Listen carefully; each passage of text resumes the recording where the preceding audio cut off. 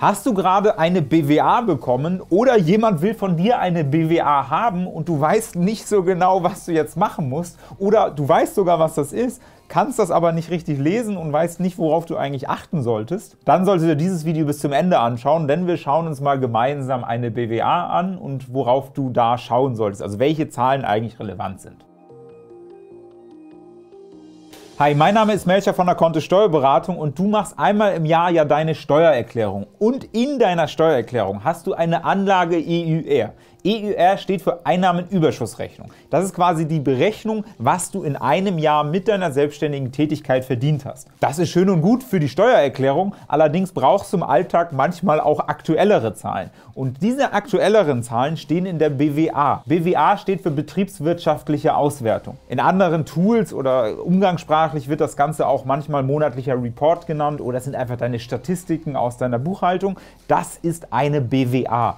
Das heißt, eine BWA ist all das, was dir unterjährig zeigt, wie viel Geld du eigentlich gerade so verdient hast. Wenn du zum Beispiel einen Kredit beantragst oder dich um eine Wohnung bewirbst oder ja, Leasingvertrag abschließen möchtest oder wie ich gerade gemacht habe, Elterngeld beantragen möchtest, dann musst du ja irgendwie dein Einkommen nachweisen. Angestellte können einfach ihre Gehaltsabrechnungen zeigen. Du als Selbstständiger hast keine Gehaltsabrechnung aber du hast halt eine BWA. Eine BWA ist also kein finales Dokument wie eine Steuererklärung oder ein Steuerbescheid, aber es ist eine unterjährige Gewinnermittlung, mit der du dein Einkommen nachweisen kannst. Außerdem ist es natürlich für dich auch unterjährig sinnvoll, dir mal einen Überblick darüber zu verschaffen, wie es eigentlich bei dir gerade läuft. Hat sich der Umsatz verändert? Hat sich dein Gewinn verändert? Gibt es bestimmte Ausgaben, Kostenpositionen, die sich irgendwie auffällig entwickeln? Das heißt, für die interne Steuerung und auch für die unternehmerischen Entscheidungen ist es natürlich sinnvoll, sich auch unterjährig mal mit seinen Finanzen zu beschäftigen. Und da kannst du immer eine BWA zur Hand nehmen.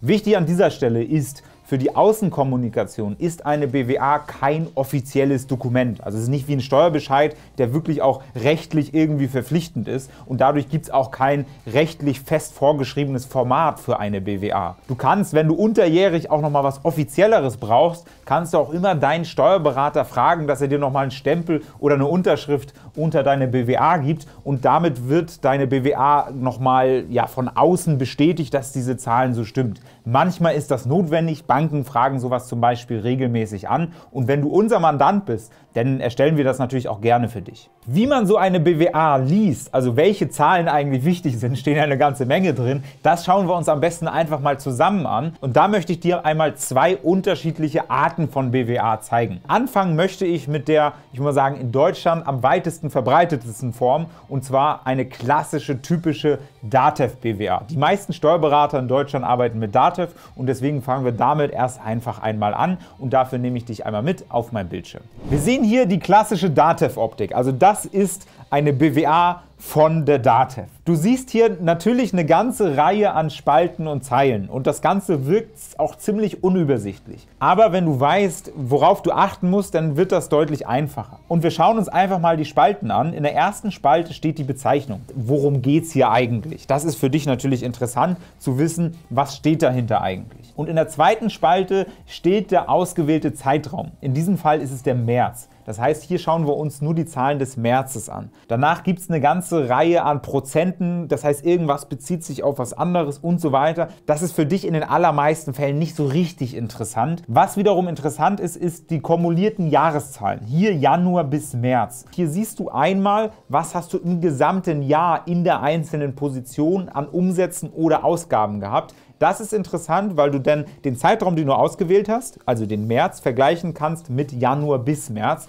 Und so kannst du ganz schnell erkennen, ob du bestimmte Positionen stärker oder schwächer warst als in anderen Monaten. Und jetzt gehen wir mal durch die einzelnen Zeilen durch. Da steht auch sehr viel drin, aber nicht alles ist wirklich interessant für dich. Die oberste Zeile ist dein Umsatz. Das ist interessant. Das heißt, wie viel Kohle hast du eigentlich gemacht? Wie viel ist reingekommen? In diesem Fall 412.575 Euro. Dann gibt es noch so eine Position Bestandsveränderungen für Erzeugnisse und so weiter und Eigenleistungen und so weiter. Das Ganze führt dann zu einer Gesamtleistung. Dann kannst du direkt zuordnenbaren Kosten abziehen, also nächste Zeile Material- und Wareneinkommen. Wenn du zum Beispiel im Versandhandel tätig bist, dann ist es halt relativ einfach, Umsätze zu machen, aber nur ein kleiner Anteil davon ist tatsächlich auch dein Rohertrag. Und den siehst du hier. Das ist dein Rohertrag, in diesem Fall ungefähr 235.000 Euro. Dann gibt es in der nächsten Zeile nochmal sonstige betriebliche Erlöse und dann hast du einen gesamten betrieblichen Rohertrag.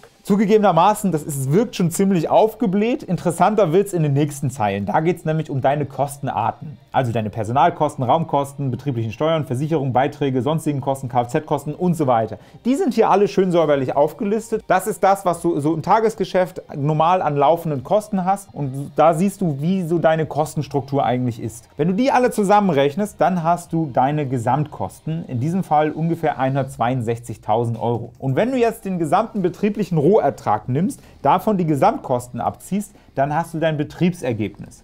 Und da kann man schon mal sagen, das ist eigentlich sowas wie dein Gewinn. In größeren Unternehmen gibt es dann noch ein Finanzergebnis. Das wird nochmal darunter ausgerechnet. Also hier zum Beispiel nochmal deine Zinserträge, den Zinsaufwand und so weiter. Das Ganze führt dann dazu, wenn du das Finanzergebnis zusammenrechnest mit dem Betriebsergebnis, dann hast du ein gesamtes Ergebnis vor Steuern. Und das ist dein Gewinn oder aber dein Bruttoeinkommen. Bitte nicht zu verwechseln mit dem Bruttoeinkommen von Angestellten, weil bei Angestellten zahlt der Arbeitgeber ja immer noch einen Anteil für die Sozialversicherung. Das ist bei dir bei Selbstständigen nicht der Fall. Aber Angestellte zahlen natürlich auch Steuern in Form von Lohnsteuerabzügen von der Gehaltsabrechnung. Das musst du auch machen. Auch du musst noch Steuern zahlen. Aber wenn dich irgendwann mal jemand nach deinem Gewinn fragt, für einen Monat, ein Quartal, ein Jahr, dann fragt er immer nach deinem Ergebnis vor Steuern. Deswegen, hiermit weißt du, das ist der entscheidende Faktor. Und das sind auch die Positionen, die du so im Auge behalten solltest, wenn du so eine DATEV BWA siehst. Dir wird allerdings schon auffallen, dass das eher eine Struktur ist, die für große Unternehmen geeignet ist. Wenn du unser Mandant bist, dann hast du das aber wahrscheinlich noch nicht von uns gesehen. Wir haben nämlich aus guten Gründen ein anderes Format für eine BWA gewählt und damit du dich auch in unserer eigenen BWA zurechtfinden kannst, schauen wir uns auch die einmal an. Wir bei der Kontist Steuerberatung haben uns gedacht, eine zu aufwendige BWA ist nicht besonders praktikabel und haben uns deswegen daran orientiert, was du einmal im Jahr sowieso machen musst. Du musst einmal im Jahr oder wir für dich einmal im Jahr eine Einnahmenüberschussrechnung erstellen und auch die Anlage IÜR ausfüllen. Also warum nicht die Struktur von der Einnahmenüberschussrechnung zu nehmen und die einfach auf Monatsbasis zu machen. Das ist das, was wir uns gedacht haben. Das ist das, was man auch kennt, weil das ist das, wie auch die Steuererklärung aussieht. Und deswegen ist unsere BWA so aufgebaut wie eine Einnahmenüberschussrechnung und die ist dadurch insbesondere für Solo-Selbstständige auch viel besser geeignet. Die schauen wir uns natürlich auch einmal an. Hier oben sieht man einmal unsere Anschrift, unsere E-Mail-Adresse. Falls du irgendwann mal Fragen haben solltest, schreib uns gerne. Du siehst hier einmal deine Adresse und auch den Zeitraum und dann siehst du den großen Block Deine Betriebseinnahmen.